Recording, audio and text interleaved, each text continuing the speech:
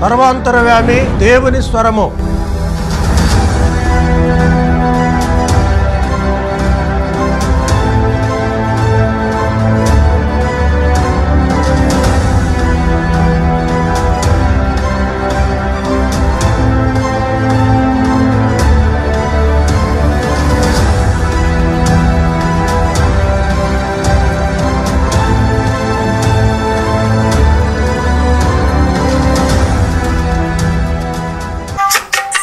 Praise lord hallelujah దేవునికి మహిమ కలుగును గాక. దేవా నా దేవుడవు నీవేనని నా మదినేలే రాజువు నీవేనని. దేవా నా దేవుడవు నీవేనని నా మదినేలే రాజువు నీవేనని. ఆరాధనే చేయనా? ఆనందమే పొందనా? ఆరాధనే చేయనా? ఆనందమే పొందనా? దేవా నా దేవుడవు నీవేనని నామది మదినేలేరా రాజువు నీవేనని. దేవా నా దేవుడవు నీవేనని. నామది మదినేలేరా రాజువు నీవేనని. ఆరాధనే చేయనా. ఆనందమే పొందనా. ఆరాధనే చేయనా? ఆనందమే పొందనా?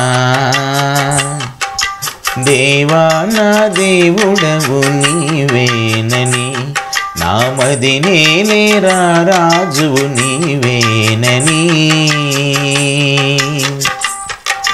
కెరుబులు శరాపులు మహాదూతలు నిత్యము నిన్ను స్థుతింపగను కెరుబులు శరాపులు మహాదూతలు నిత్యము నిన్ను స్థుతింపగను ఎన్నికలేని నా స్థుతి కోసము ఎన్నికలేని నా స్థుతి కోసము మిగులాశతో చూచుచుంటివా? మిగులాశతో చూచుచుంటివా? ఆరాధనే చేయనా? ఆనందమే పొందనా? ఆరాధనే చేయనా? ఆనందమే పొందనా? దేవా నా దేవుడవు నీవేనని నా మదినేలేరా రాజువు నీవేనని. దేవా నా దేవుడవు నీవేనని నా మదినేలేరా రాజువు నీవేనని. ఆరాధనే చేయనా?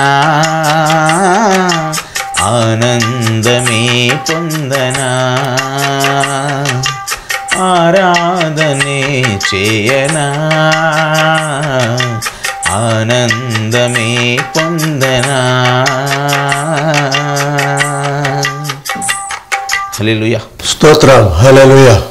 మహాగంతులైంచిన మా యేసు మీ ఘనమైన పరిశుద్ధమైన శ్రేష్టమైన నామాన్ని బట్టి మీకు వేలాది వేల వందనాలు స్థుతులు స్తోత్రాలు చెల్లిస్తున్నాం. మరి ఒక సాయంకాల సమయంలో మీ సన్నిధికి వస్తుండగా మరి నాయన ఈ టీవీ పరిచర్య ప్రార్థన టీవీ ఛానల్ ద్వారా అనేక మంది నేను నీ సువార్త వినుటకు సహాయం చేయని ప్రార్థిస్తున్నాం.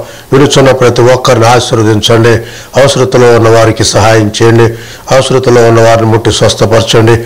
ఆర్థికంగా బలపరచండి. కరోనా ఒమెక్రాన్ నియోన్ ప్రతి వైరస్ నుండి విడుదల కలిగించి ప్రతి బిడ్డను మీరే ముట్టి స్వస్థపరచమని నజరైన యేసునామున ప్రార్థించి వేడుకుంటున్నాం తండ్రి. ఆమె ఈ కార్యక్రమాన్ని మీకు సమర్పించిన వారు శ్రీమతి అర్జా సుభాష్ని గారు వసుంధర భాస్కర్ గారు శ్రీమతి వెన్నకోట కమల గారు. వీరు గవర్నర్ పేటలోని దేవుని సంఘ సభ్యులుగా ఉన్నారు. శ్రీమతి అర్జా కీర్తిశేషులు శ్రీమతి అర్జ శకుంతలమ్మ గారు ప్రభు సేవలో అరవై సంవత్సరాలు దేవుని సంఘ పరిచర్య చేసి మరి రెండు వేల పంతొమ్మిది ఫిబ్రవరి మాసంలో దేవుడు పిలువగా ప్రభు సన్నిధికి వెళ్ళారు. కనుక విడవబడినటువంటి వారి సంఘము కుటుంబము మరి సంఘ సభ్యులు కుటుంబ సభ్యులు ప్రతి ఒక్కరి కొరకు ప్రేక్షకులు ప్రార్థించాలని ప్రభు పేరట వారికి మనవి చేస్తున్నాం. ఈ మన మన యొక్క అంశము అపహాస్య గీతము లేదా ప్రార్థనా గీతము అనే అంశాన్ని గురించి హబక్కూకు గ్రంథము నుండి కొన్ని విషయాలను మనము నేర్చుకుందాం. హబక్కుకు అనే మాటకు కౌగులించుకుంటా అని అర్థము. ఈయన ప్రవచించిన కాలము క్రీస్తు పూర్వము ఆరు వందల ఐదు అని చరిత్రకారులు భావిస్తున్నారు. బబులోను సామ్రాజ్యము ఎరుసలేమును నాశనము చేయుట ఐగుప్తు గుర్రములను అల్పాహారముగా తీసుకున్నాడు. పరిపాలన యహోయాకీము పరిపాలన కాలము వల అనగా సైనిక శక్తిని సూచిస్తోంది. హబక్కును గూర్చి మనం చూసినప్పుడు చాలామంది పండితులు ఈయన శూన్యమీరాలి కుమారుడు అని తలస్తూ ఉన్నారు. రెండవ రాజుల గ్రంథము నాలుగవ అధ్యాయము పదహారవ వచనము. నీతిమంతుడు విశ్వాసమూలముగా జీవించును అనేది హబక్కుకు గ్రంథములోని సారాంశమై ఉన్నది. కాబట్టి మనము హబక్కుకు గ్రంథంలోనికి వద్దాం. మొదటి వచనం నుండి చదువుకుందాం. ప్రవక్తయగు హబక్కుకు నొద్దకు దర్శన రీతిగా వచ్చిన దేవోక్తి యహోవా నేను మొరపెట్టినను నీవు ఎన్నాళ్ళు ఆలకింపక ఎందువు బలత్కారము జరుగుచున్నదని నేను నీకు మొరపెట్టినను నీవు నన్ను రక్షింపకయున్నావు. నన్నెందుకు దోషము చూడని చూచున్నావు బాధ నీవేళ ఊరకయ్య చూచున్నావు ఎక్కడ చూచినను నాశనమును బలత్కారమును జరుగుచున్నవి. జగడమును కలహమును రేగుచున్నవి. అందువల్ల ధర్మశాస్త్రము నిరర్ధక నిరర్ధకమాయను న్యాయము ఎన్నడను జరగకుండా మానిపోయిను. భక్తిహీనులు వచ్చి నీతి పనులను చుట్టుకొందురు. న్యాయము చెడిపోవచ్చున్నది అన్ని జనుల్లో జరుగునది చూడుడి. ఆలోచించుడి కేవలం విస్మయం నొందుడి మీ దినములలో నేను ఒక కార్యము జరిగింతును. అలాగు జరగని ఒకడు మీకు తెలిపినను. మీరు అతని నమ్మక ఎందురు ఆలకించుడి తమ తమ కాని ఉనికి పట్టులను ఆశ్రయించవల్లని. బూది గంతములకు సంచరించు. ఉద్రేకము గల క్రూరులకు కల్దీలను నేను రేపుచున్నాను. వారు ఘోరమైన భీకర జనముగా ఉన్నారు. వారు ప్రభుత్వమును విధులను తమ ఇచ్చ వచ్చినట్లు ఏర్పరచుకుందరు. వారి గుర్రములు చిరత పులుల కంటే వేగముగా పరిగెత్తును. రాత్రి అందు తిరుగులాడు తోడేళ్ళ కంటెను. అవి చురుకైనవి. వారి రౌతులు దూరము నుండి వచ్చి తటాలను చొరబడుచురు. ఎరను పట్టుకున్నటకై పక్షిరాజు ఒడిగా వచ్చినట్లు వాడు పరుగులెత్తును. వెనక చూడకుండా బలత్కారము చేటుకై వారు వత్తురు. ఇసుక రేణువులంత విస్తారముగా వారు జల్లును చెరపట్టుకొందురు. రాజులను అపహాస్యం చేతురు అధిపతులను హేళన చేతురు ప్రాకారము గల దుర్గములన్నీ తృఢీకరింతురు మంటి దెబ్బ వేసి వాటిని పట్టుకొందురు తమ బలమునే తమకు దేవతగా భావింతురు గాలికి కొట్టుకొని పోనట్లు వారు కొట్టుకొని పోవచ్చు. అపరాధులగుదురు యహోవా నా దేవా నా పరిశుద్ధ దేవ ఆది నుండి నీవు ఉన్నవాడవు కావా. మేము మరణమును అందము యహోవా తీర్పు తీర్చుటకు నీవు వారిని నియమించున్నావు. ఆశ్రయదుర్గమామమును దండించుటకు వారిని పుట్టించితివి. నీ కను దృష్టి దుష్టత్వము చూడలేంత నిష్కలకమైనది కదా. బాధించు వారి చేయి బాధను నువ్వు దృష్టించగలవు. కదా కపటంలో నువ్వు చూచి దుర్మార్గులు తమ కంటే ఎక్కువ నీతి పనులు నాశనం చేయగా నీవు చూచి ఎందుకు ఊరకున్నావు? ఏరిక లేని చేపలతోనూ పాకు పురుగులతోనూ నీవు నరులను సమానులుగా చేసితే వాడు గాలము వేసి మానవులందరినీ గుచ్చి లాగి ఉన్నాడు. ఉరులు వచ్చి చిక్కించుకొనుచున్నాడు. వారు తమ వలలో దాన్ని చిక్కి కూర్చుకొని సంతోషపడి గంతులు వేచున్నారు. కావున వల వలన మంచి భాగమును పుష్టినిచ్చు భోజనమును తమకు కలుచున్నదని వారు తమ వల వలన బలును అర్పించున్నారు. తన ఉరులను దూపం వేయుచున్నాడు. వాడు ఎల్లప్పుడూ తన వలలో నుండి దిమ్మరించుచున్న వలన ఎప్పటికీ మానకుండా వారు జనములను హతము చేయుచున్న వలన అబక్కుకు మరి గూర్చి మనం చెప్పుకున్నాం. ప్రవక్త యగు హబక్కుకు నొదకు దర్శన రీతిగా వచ్చిన దేవోక్తి. దేవుడు తన వాక్కును కొన్ని పర్యాయంలో దర్శనము ద్వారా తన దాసులకు బయలుపరిచినాడు. దేవుడు తన వాక్కును కొన్ని పర్యాయంలో ప్రవచనము వలన వారికి బయలుపరిచినాడు. God sometimes His his will to through through the of of God by visions God in sometimes through his will by the the or the fire or the word దేవుడు కొన్నిసార్లు దర్శనము రీతిగా తన జనులకు దేవుని సంకల్పమును బయలుపరిచినాడు. కొన్ని పర్యాయములో వాక్యము ద్వారాను ప్రవచనము ద్వారాను దేవుని అగ్ని వారిలో ప్రవేశించినప్పుడు వారు దేవుని మాటలను పలికినారు. ఇర్మియాను మనం చూసినప్పుడు God reveal is will to Jeremiah by the word. ఇర్మియాకు దేవుడు తన వాక్యము ద్వారా ఆయన సంకల్పమును బయలుపరిచినాడు. ఏ హెచ్కేలును మనం చూసినప్పుడు God reveal his will by the visions to Ezekiel దర్శన రీతిగా దేవుడు ఏహెచ్కేలునకు తన చిత్తమును బయలుపరిచినాడు. ఇరిమియా గ్రంథం మొదటి అధ్యాయము మొదటి వచనము అలాగే ఏహెచ్కేలు గ్రంథము మొదటి అధ్యాయం మొదటి వచనము. ఈ రెండు వచనములకు ఉన్న వ్యత్యాసం ఏంటంటే దేవుని వాక్కు ఇర్మియా నొద్దకు వచ్చెను అని ఇర్మియా గ్రంథము మొదటి అధ్యాయం మొదటి వచ్చినప్పుడు ఉంది. యహోవా వాక్యము ఇర్మియా నొద్దకు వచ్చెను. అదే హెచ్కేల్ గ్రంథం మొదటి అధ్యాయం మొదటి వచ్చినములో నేను క్యాబారు నది తీరమున ఉండగా ఆయన నాకు కొన్ని దర్శనములను బయలుపరిచెను అని హెచ్కేల్ అంటూ ఉన్నాడు. God's plan is different in some ways దేవుని సంకల్పము ఆయా విధములుగా తన జనులకు బయలుపరచబడుతూ ఉంది యాబక్కూకును మనం చూసినప్పుడు యహోవా నేను మొరపెట్టినను నీవెన్నాళ్ళు ఆలకింపకేందువు బలత్కారము జరుగుచున్నదని నేను నీకు మొరపెట్టినను నీవు రక్షింపకై ఉన్నావు. అయితే తన దాసుడు మొరపెడుతున్నాడు. తులదాసుడు కన్నీళ్ళు విడుస్తూ ఉన్నాడు. ప్రవక్త కన్నీళ్ళు విడుస్తూ ఉన్నాడు. కానీ ప్రవక్త అంటూ ఉన్నాడు నువ్వెందుకు ఆలకింపకున్నావు? ఎందుకంటే ప్రజల యొక్క పాపము బహు ఘోరమైనప్పుడు దేవుడు ప్రవక్త మనవి ఆలకించడు. ఉగ్రత వారి మీదకి రాబోతున్నది.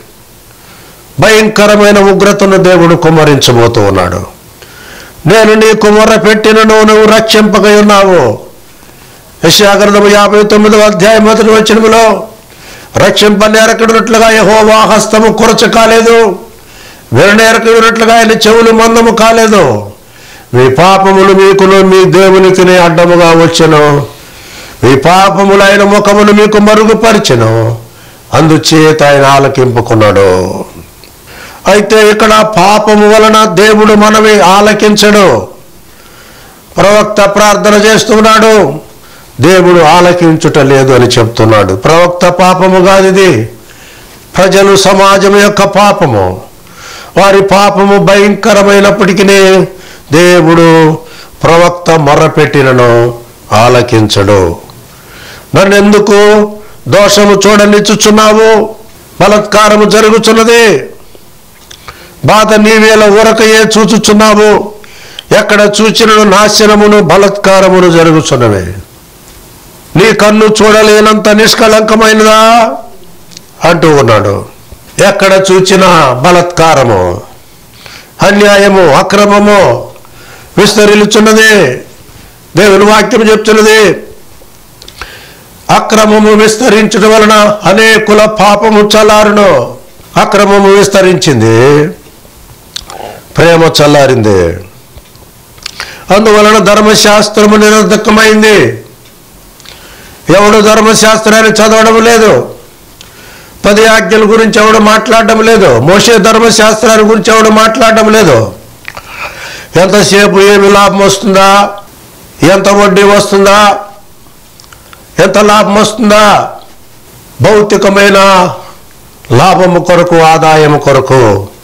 ప్రజలు ఆలోచిస్తున్నారు కానీ నీతి నియమముల గురించి ఎవరు మాట్లాడడం లేదు. న్యాయం ఎన్నడను జరగకుండా మానిపోయాను. న్యాయం అనేది ఎక్కడా లేదు. Where there is no justice నీతిమంతుడు లేడు ఒక్కడును లేడు.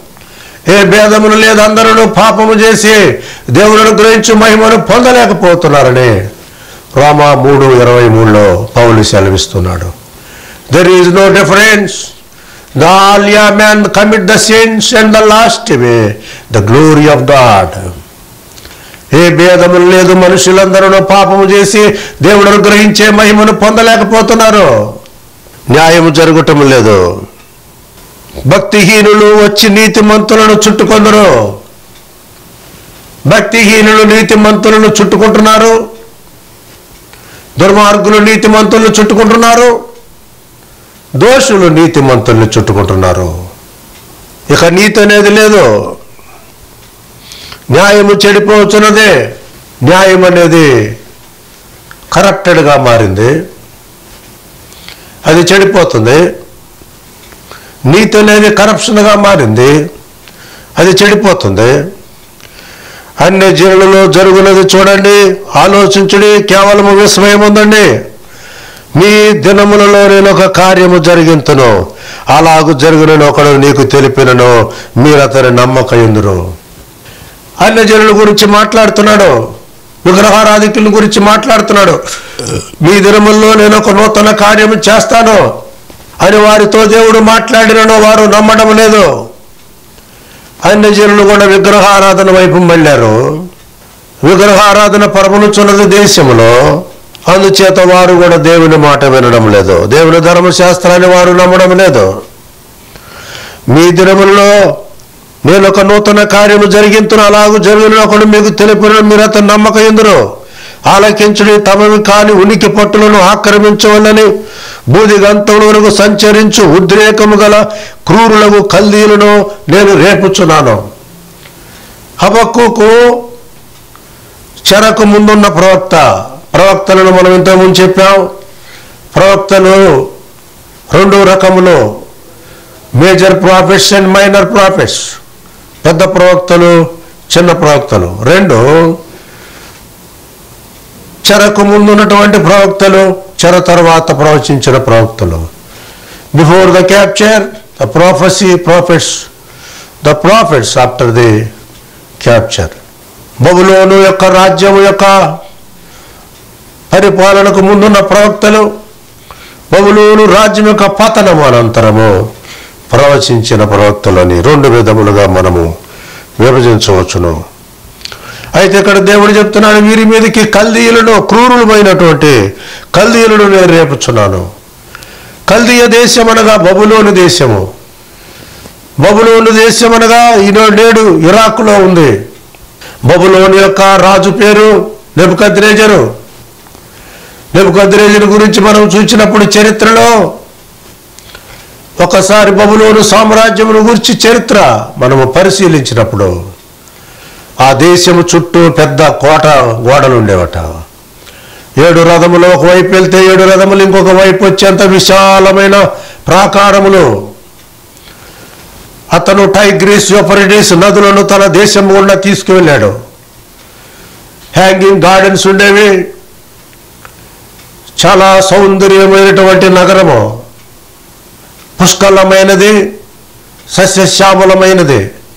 అందుకనే బబులోను సామ్రాజ్యాన్ని గురించి చరిత్ర ప్రవచనాలు ఏమని చెప్తున్నాయంటే బబులోను ఒక శిరస్సుగా దేవుడు అభివర్ణిస్తూ ఉన్నాడు. అలాగే ఆ శిరస్సు మరి ఒక విగ్రహం కలిగి ఉంది. ఆ శిరస్సు ఎలా ఉందంటే సువర్ణమయముగా ఉంది. అంటే బబులూరు బబులోను సామ్రాజ్యం యొక్క పరిపాలనా కాలము సువర్ణ యుగం అని పిలువబడుతుంది. ఎందుకంటే అతడు బంగారు విగ్రహాన్ని తయారు చేయించాడు. మూడు వందల అరవై మీటర్ల ఎత్తు కలిగినటువంటి ఒక పెద్ద బంగారు విగ్రహం తయారు చేయించాడు బబులోను రాజు. దూరా అనే మైదానంలో దాన్ని ప్రతిష్ఠించాడు. అనేక మంది వాయిద్యకులను నియమించాడు. బూరలు తంబురలు సారికలు ఊదుచుండగా ప్రతి వ్యక్తి వచ్చి ఆ విగ్రహం ముందు నమస్కరించాలి. అలా నమస్కరించిన వాడెవడో?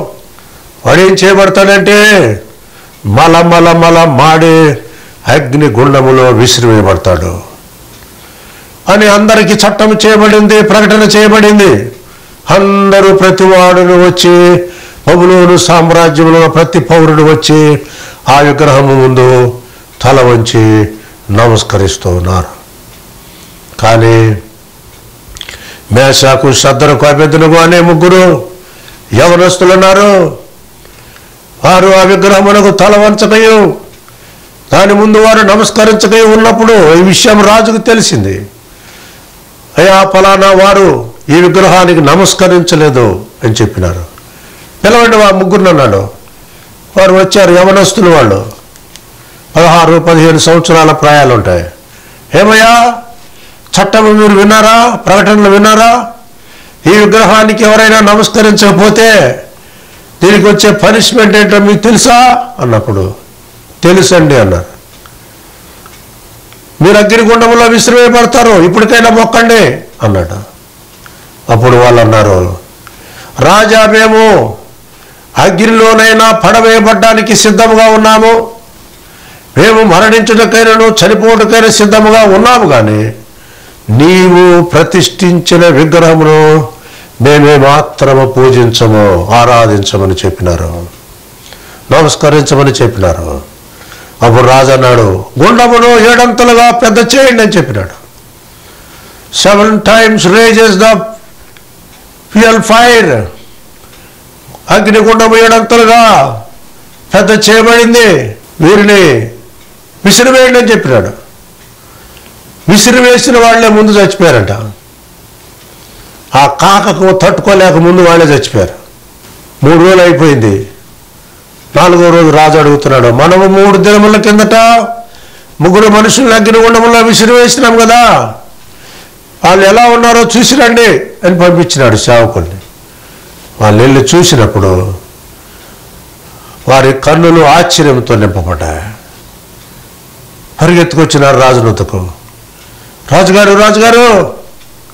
అంటున్నారు ఏమయ్యా ఏం జరిగింది? మూడు దినముల కిందట మన ముగ్గురు మనుషులను యవనస్తులను పట్టుకుని అగ్గిరగుండంలో విసిరినాము కదా? ఎవరు విసిరినాము. నాలుగో మనుషుడు ఒకటి ఇప్పుడు వాడితో వారితో తిరుగుతున్నాడు అతని రూపము దేవతల రూపమును పోలి ఉన్నది అని చెప్పినారు. రాజు కూడా వచ్చినాడు. కిందన్న తలుపు తీయడన్నాడు తీసినారు.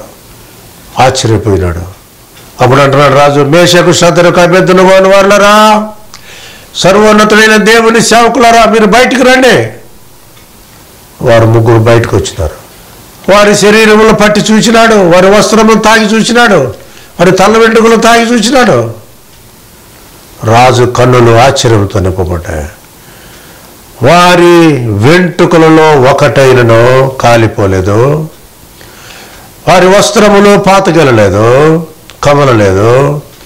వారి శరీరములకు అగ్ని మాత్రము వాసన చూపించలేదు. అగ్ని వాసన తగలకుండా వారిని దేవుడు అగ్ని గుండములో కాపాడినాడు. తన దూతను పంపించినాడు. అందుచేత ఈ కల్దీయ దేశము చాలా భయంకరమైనది. ఇక్కడ ప్రవక్త పోలుస్తున్నాడు వారి గుర్రములు చిరత పులుల కంటే వేగముగా పరుగులెత్తును. దాని ఏళ్ళు తొమ్మిదవ అధ్యాయములో అతని దర్శనములో ఒక చిరత పులిని సూచిస్తూ ఉన్నాడు. ఆ చిరతపులికి పక్షిరాజుల వంటి రెక్కలున్నాయి. ఆ చిరతపులి మధ్యధర సముద్రం నుండి బయటకు వస్తుంది. ఏమిటి చిరతపులి అంటే? ఇదే బబులోను సామ్రాజ్యము. చారిత్రకంగా మనం చూసినప్పుడు అన్ని జంతువుల కంటే వేగముగా పరిగెత్తే జంతువు ఏదైనా ఉన్నదంటే చిరుత పులి అంటాము అది గంటకు నూట ఎనభై కిలోమీటర్ల వేగంతో పరిగెత్తుంది. లియోపైడ్ చిరుత. అలాగే అన్ని పక్షుల కంటే అత్యంత దూరం నుండి చూడగలిగిన పక్షి ఏదైనా ఉందా అంటే అది పక్షిరాజు అంట. ఎత్తైన స్థలములో నుండి ఆహారం ఎదుగుతుంది. దాని కన్నులు చాలా సూక్ష్మమైనవి. అది రక్తమును పీల్చును అంటూ ఉన్నాడు. వేటాడి రక్తమును పీలుస్తుంది. అంటే ఇక్కడ దీనికి పక్షిరాజు వంటి రెక్కలు ఇవ్వబడ్డాయి. చిరుత వంటి వేగము దీనికి ఇవ్వబడింది. ఇదే దానియేలు గ్రంథము తొమ్మిదో అధ్యాయంలో కూడా మనం చూడవచ్చు. రాత్రి ఎందు తిరుగులాడు తోడేళ్ళ కంటే నవి చురుకైనవి. చాలా చురుకైనవి. వారి రౌతులు దూరము నుండి వచ్చి తటాల్లో చొరబడుదురు. ఎర్రను పట్టుకున్నటకై పక్షిరాజు ఒడిగా వచ్చినట్లు వారు పరుగులెత్తి వత్తురు. ఇరిమియా ప్రవచించాడు. బబులోను రాజు దండెత్తి వస్తున్నాడు. నువ్వు జాగ్రత్తగా ఉండాలి అని సిదికియాను హెచ్చరించినాడు. సిదికియా ఇరిమియా చెప్పిన మాటలు నమ్మలేదు. ఎన్ని మారులు చెప్పినను తిరగబడినాడు ఇర్మియాను బావిలో తోసివేసినాడు. అనేక దినముల బావిలోనే నీళ్ళు లేని బావిలో అతన్ని బంధించినాడు. అతనికి దినమునకు ఒక రొట్టె మొక్కను ఆహారముగా ఇచ్చినాడు. అందుకని ఇరిమియా ముప్పై మూడో అధ్యాయ మూడో వచనంలో దేవుడు ఇరిమియాతో సెలవిస్తున్నాడు మాట నెరవేర్చే హోవా కార్యము జరగవలదని స్థిరపరిచే యహోవారు నామము వహించువాడే ఇలాగున సెలవిచ్చున్నాడు. నాకు మొరపెట్టుము నేను నీకు ఉత్తరం ఇచ్చేదను నువ్వు గ్రహింపలేని గొప్ప సంగతులను గూఢమైన సంగతులను నీకు తెలియజేతును. ప్రార్థన చేసుకుందాం. మహాగణత వహించిన మా యేసు మీ ఘనమైన పరిశుద్ధమైన శ్రేష్టమైన నామాన్ని బట్టి మీకే వేలాది వేల వందనాలు స్థుతులు స్తోత్రాలు చెల్లిస్తున్నాం. మరి ఒక ప్రశస్త సమయాన్ని సాయంకాల సమయాన్ని మీరు మాకు అనుగ్రహించినందుకై వందనాలు చెల్లిస్తున్నాం. ఇంతవరకు నీ వాక్యమును శ్రద్ధగా ఆలకించిన ప్రతి ఒక్క విశ్వాసిని ప్రతి ఒక్క అభిమానిని ఎత్తిపట్టి దీవించి ఆశీర్వదించమని ప్రార్థిస్తున్నాం. నీ వాక్యము ద్వారా అనేక కుటుంబాలు వెలిగించబడినట్లుగా అనేక కుటుంబాలు ఆదరణ నెమ్మది ఆశీర్వాదములు పొందినట్లుగా స్వస్థతను పొందినట్లుగా రక్షణ పొందినట్లుగా సహాయము దయచేయమని దీనికి స్పాన్సర్ చేసిన కమల గారిని వారి కుటుంబాన్ని ఎత్తిపట్టి ఆశీర్వదించమని సుభాష్ని గారిని వసుంధర భాస్కర్ గారిని దీవించి ఆశీర్వదించమని. అలాగే ఈ కార్యక్రమాన్ని ఎవరైతేనైనా వీక్షిస్తున్నారో ప్రతి కుటుంబాన్ని ఆశీర్వదించమని నిదాసులను ముట్టి స్వస్థపరచుమని నజరేడిన ఏ సునామున ప్రార్థించి వేడుకుంటున్నాం తండ్రి. ఆమెన్. తండ్రి అయిన దేవుని ప్రేమయు కుమారుడని యేసుక్రీస్తు కృపయు పరిశుద్ధాత్మదు నుండి వచ్చే అయిన సహవాసమైన సన్నిధి భూలోకము నుండి సకల పరిశుద్ధులను విశ్వాసులకు ఆయన సముఖములో ఉండి ఆయన మాటలు ఇంతవరకు శ్రద్ధగా ఆలకించిన ఆయన దాసులకును దాసురానులకును సదాకాలము తోడయుండి నడిపించునుగాక. ఆమెన్. ఏసు రక్తమే జయం శిలువ రక్తమే జయం అపవాది క్రియలకు నిత్యం సర్వం నాశనం ఏసు నామమునకి సంపూర్ణ జయము జయము కలుగుడుగాక ఆమెన్. మే గాడ్ బ్లెస్ యూ అందరికీ వందనాలు.